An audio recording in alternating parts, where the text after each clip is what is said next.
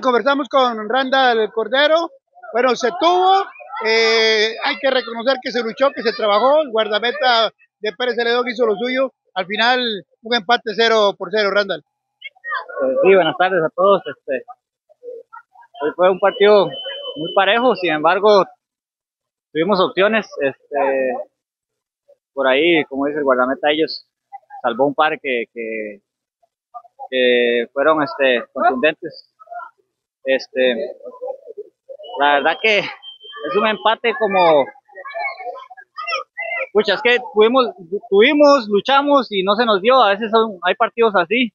Eh, lo importante es que, bueno, no nos dimos por vencidos. Esta, esta vez este, sumamos de a uno, no pudimos de a tres. Lo importante es seguir sumando.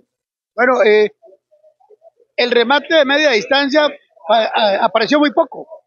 Sí, sí, es que ellos también hicieron su trabajo, ellos hicieron eh, un buen bloque ofensivo, la verdad que estaban bien parados. Eh, por ahí intentamos ganar este, las espaldas de ellos, que lo hicimos varias veces.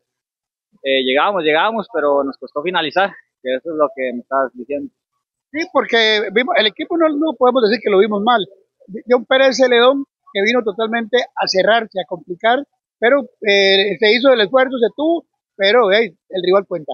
Sí, este es un estadio complicado y, y la temperatura también es complicada para, para todos los que vienen.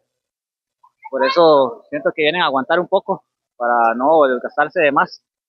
Y ellos, como decís, hicieron un buen bloque y por ahí se supieron defender.